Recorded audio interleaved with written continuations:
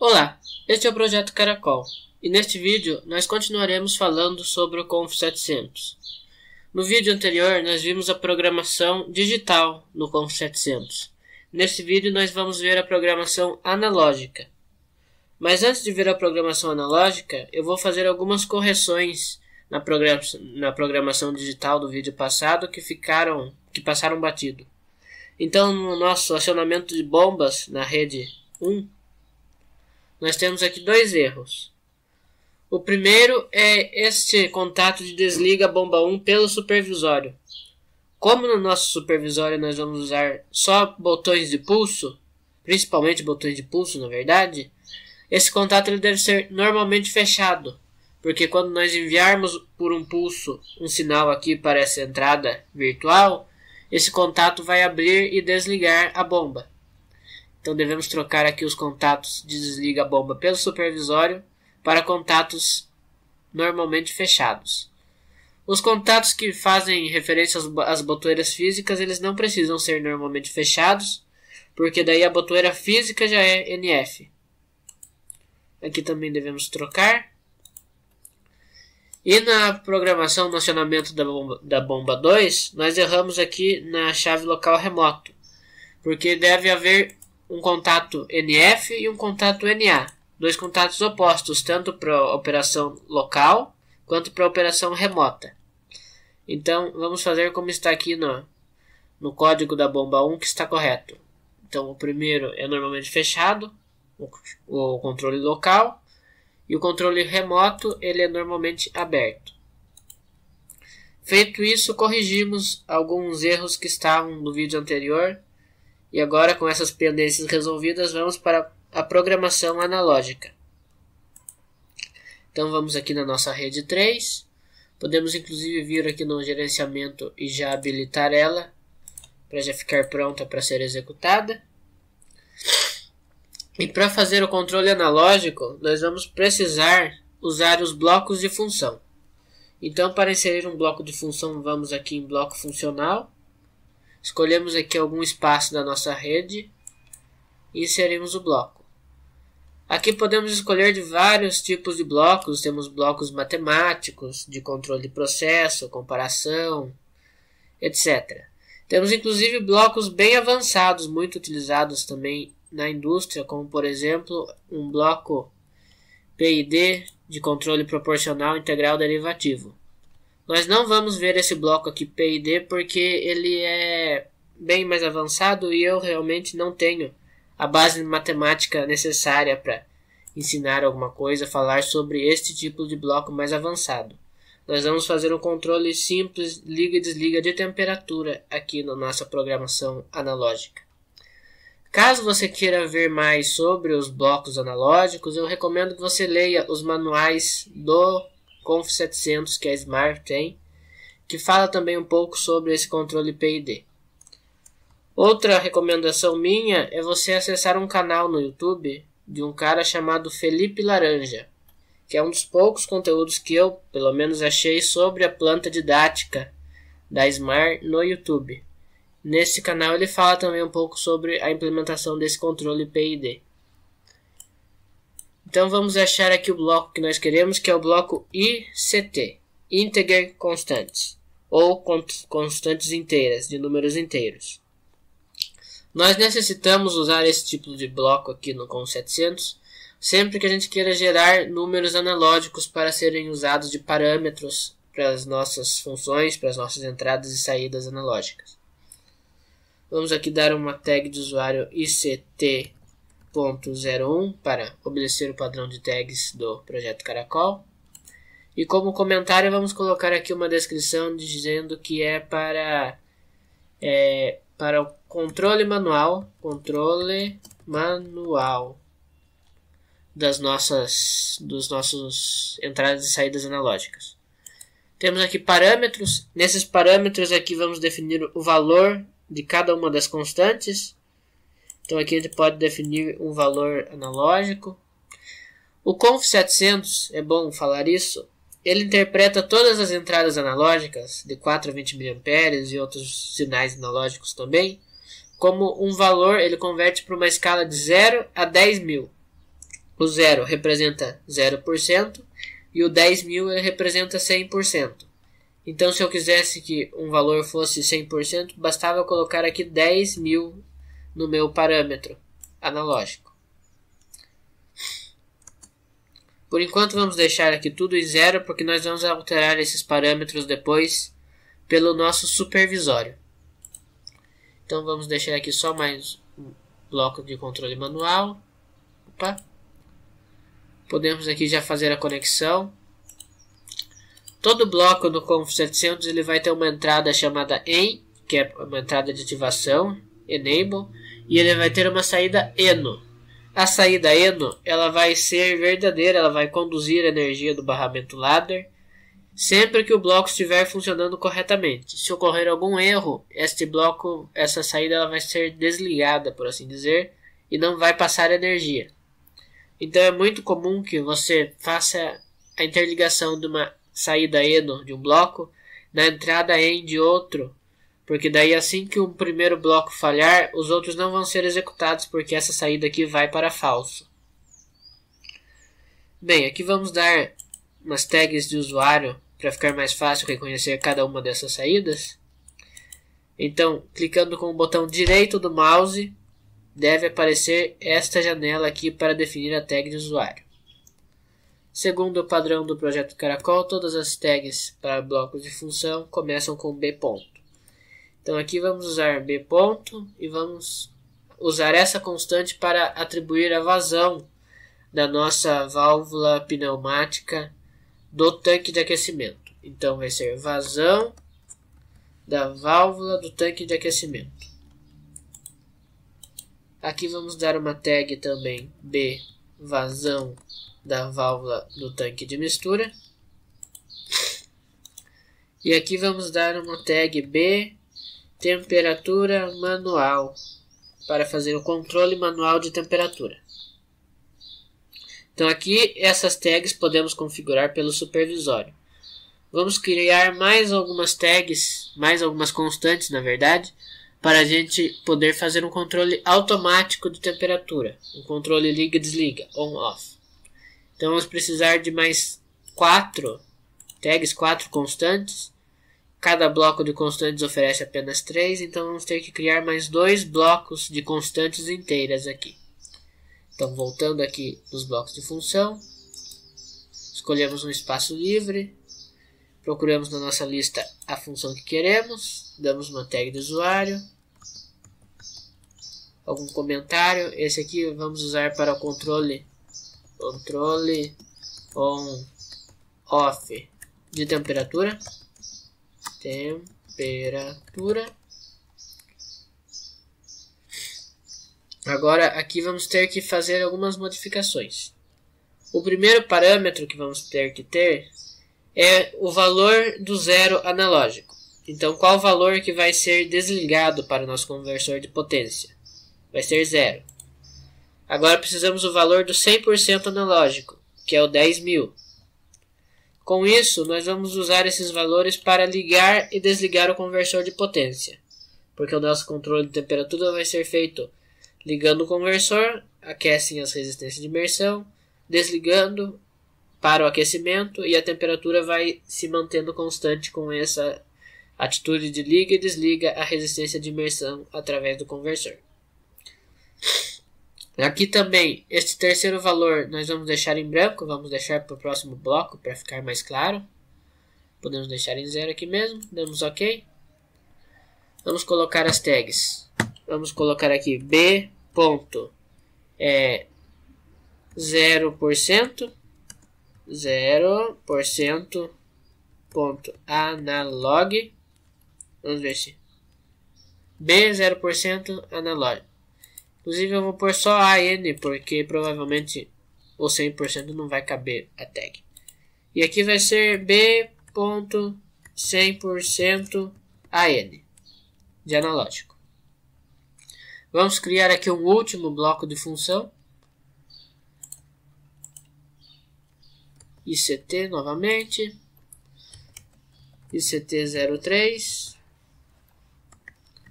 controle on-off de temperatura.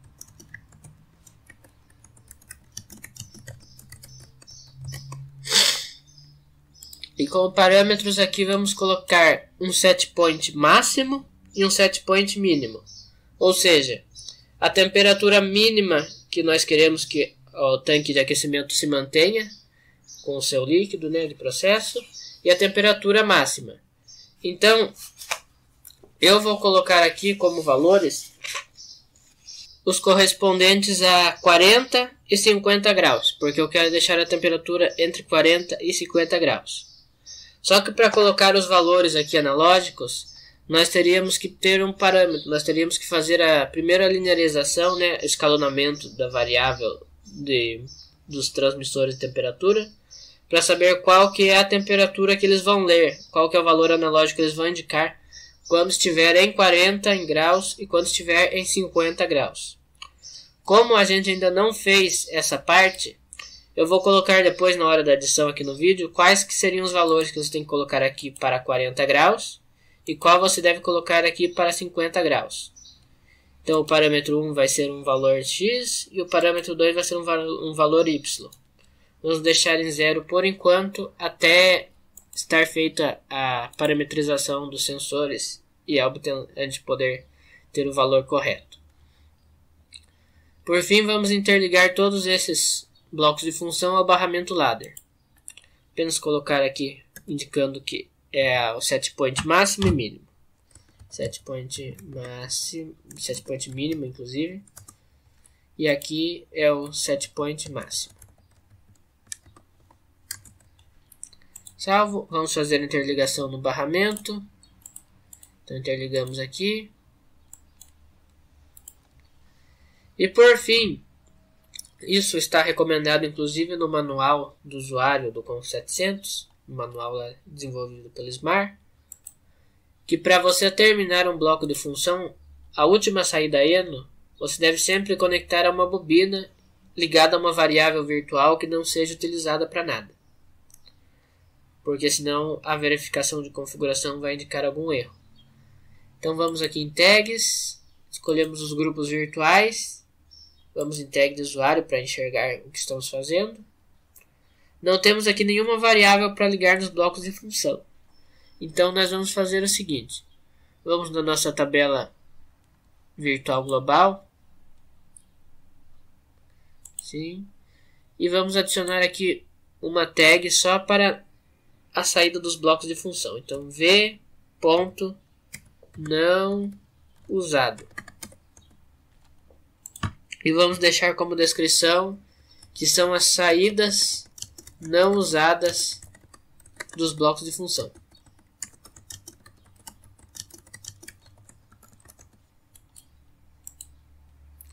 Agora que já demos um nome para essa tag, podemos atribuí-la aqui. Vamos agora para o controle de temperatura, liga e desliga.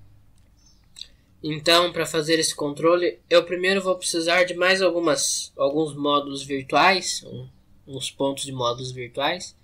Então, eu vou aqui na página de módulos virtuais, vou sair inclusive da página de ladder, e vou adicionar um módulo virtual que vai ser só para o nosso controle on-off. Adicionamos um módulo virtual, Vamos colocar um comentário que ele é para o controle on-off. Controle on-off. E aqui na tabela virtual, vamos dar um nome para ele, VM2. Módulo virtual, módulo virtual que é para o controle on-off.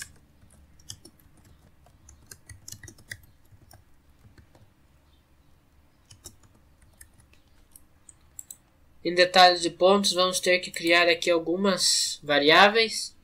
A primeira é para você ligar e desligar o controle on-off, né, o controle manual, para ir de manual para automático. Então vamos criar uma variável v ponto manual automático. E ela faz a seleção do, de temperatura manual automática. Seleção do controle, controle manual automático. E vamos criar também uma variável que vai ser para ligar ou desligar o nosso conversor de potência. Então vamos criar uma variável liga ou desliga o conversor de potência. Liga ou desliga, né? Liga, desliga conversor de potência. Criamos aqui mais um módulo virtual com duas variáveis. Podemos já voltar para a página de ladder. E vamos aqui adicionar um contato normalmente aberto, que vai servir para ativar ou desativar os blocos que a gente vai colocar aqui em diante. E vamos colocar como tag para acionar esse contato o nosso controle manual e automático de temperatura. Seleção do controle manual e automático. Agora devemos colocar dois blocos. Um bloco para comparar se a nossa temperatura que estamos lendo é maior que o set point mínimo ou menor, e outro para comparar se a nossa temperatura é maior ou menor que o set point máximo. Então, vamos aqui nos blocos funcionais novamente, vamos adicionar um bloco, e agora vamos achar o bloco L, LT, que é para comparar se um número é menor que outro, que é menor que outro, que é menor que outro, etc. Então, LT01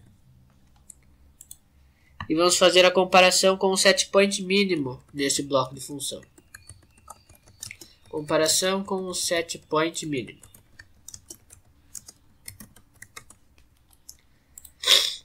Aqui temos um parâmetro que é o parâmetro extensível. Então a gente poderia comparar vários valores analógicos para ver se um é menor que o outro, que é menor que o outro, então em uma sequência. Como nós vamos comparar apenas dois valores, que é uma comparação de valores mais comum, gente vai manter esse valor aqui. Mas ele poderia ir até 14 valores de comparação. Mantendo em 2, deixamos aqui. E agora, criado o bloco, temos duas entradas. A entrada em 1 e a entrada em 2, que foram as duas entradas que a gente definiu. Então, como funciona esse bloco? A entrada em 1, a entrada mais acima, ela sempre vai ser menor que a entrada mais abaixo. Então aqui Nessa entrada nós vamos colocar como tag, vamos aqui para definir as tags, vamos achar a entrada analógica dos nossos transmissores de temperatura. Então temos aqui o transmissor de temperatura do tanque de aquecimento. E a temperatura que ele vai ler, ela tem que ser menor que o set point mínimo. Então devemos aqui achar o set point mínimo que a gente vai definir novamente através daquelas constantes. Então, o setpoint mínimo está aqui. Ó. Ele é uma saída desse bloco de função ICT03. Então, vamos aqui, clicamos aqui. E em tag, nós temos que achar aqui saídas do bloco de função. E achar o nosso bloco de função que tem a saída do setpoint mínimo. Colocamos aqui como tag o nosso setpoint mínimo. E aqui na nossa saída nós vamos ligar uma bobina de set ou reset. Então vamos aqui ligar uma bobina set e explicando como vai fazer, vai funcionar essa comparação. Se a temperatura do tanque de aquecimento ela for menor que o set point mínimo, ele vai setar, ou seja, ele vai ligar o nosso conversor de potência para a temperatura esquentar através do aquecimento da resistência. Então vamos aqui adicionar a nossa tag para o nosso grupo virtual de liga e desliga o conversor, para ele ligar o conversor no caso. E aqui temos a comparação com o set point mínimo. Agora vamos fazer uma coisa parecida, vamos fazer a comparação com o set point máximo, para ele desligar o conversor de potência quando a temperatura máxima for atingida. Então vamos aqui adicionar um novo bloco funcional o bloco que vamos adicionar agora é o bloco GT, que é para fazer a mesma coisa, só que em vez de ser uma sequência de um número menor que o outro, que é menor que o outro, vai ser uma sequência crescente. Então, um número é maior que o outro, que é maior que o outro, que é maior que o outro, etc. Então, vamos dar a tag GT01. Como comentário, vamos deixar a comparação com o set point máximo. Comparação com o set point point máximo. Vamos deixar apenas duas entradas de comparação mesmo. Damos OK. E já criamos um bloco bem parecido com o anterior.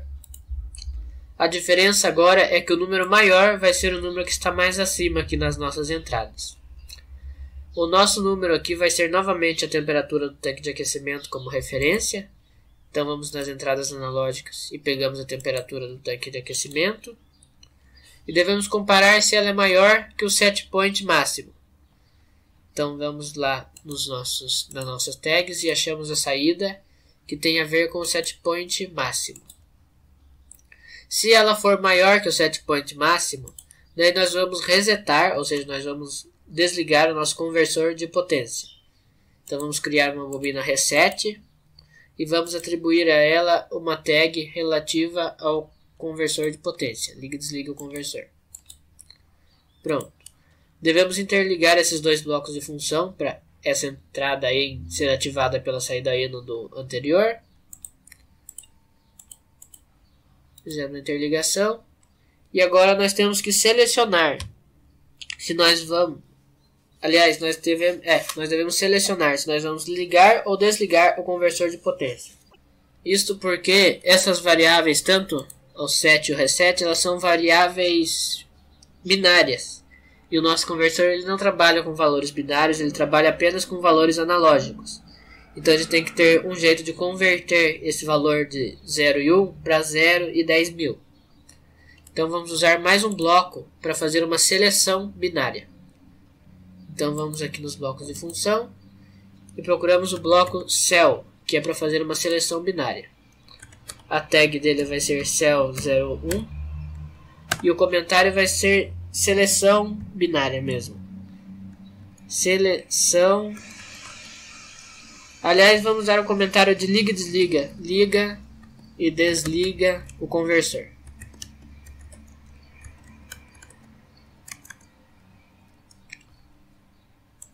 Feito, adicionado o bloco aqui. Inclusive eu acho que vamos ter que mover esse bloco para outro lugar. Dar um Ctrl X, Ctrl V. Acho que agora tem espaço. Então, o que devemos fazer aqui? Devemos primeiro interligar esse bloco com os anteriores. E agora, o seleção binária, o bloco de seleção binária, ele funciona desse jeito.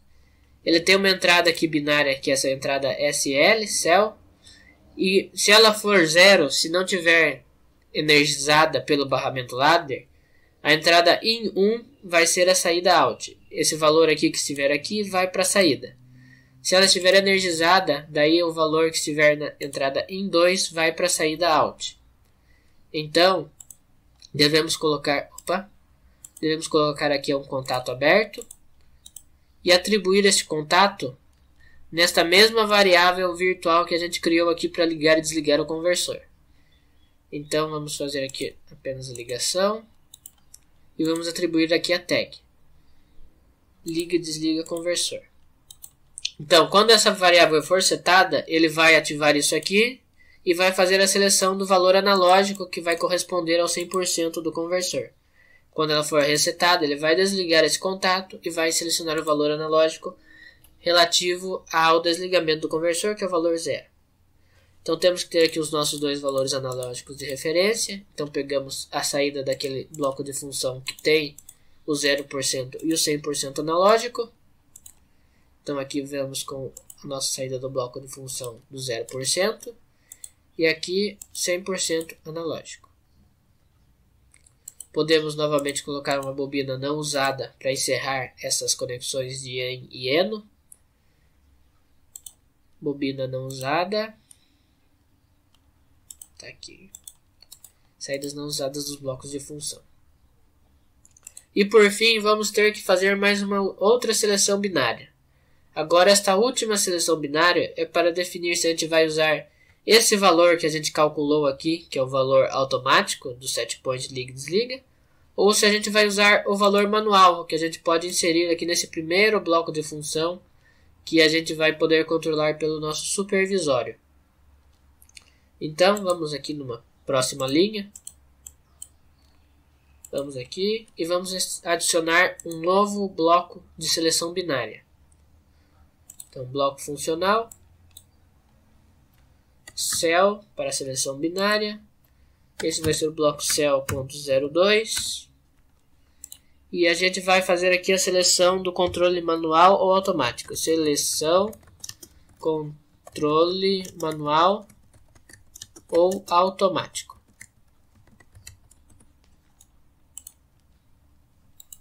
Adicionado nosso bloco, podemos ligá-lo diretamente aqui no barramento ladder. E aqui, o que vai definir essa seleção, vamos colocar aqui um contato aberto, o que vai definir essa seleção é aquela variável que nós criamos de seleção de controle manual ou automático.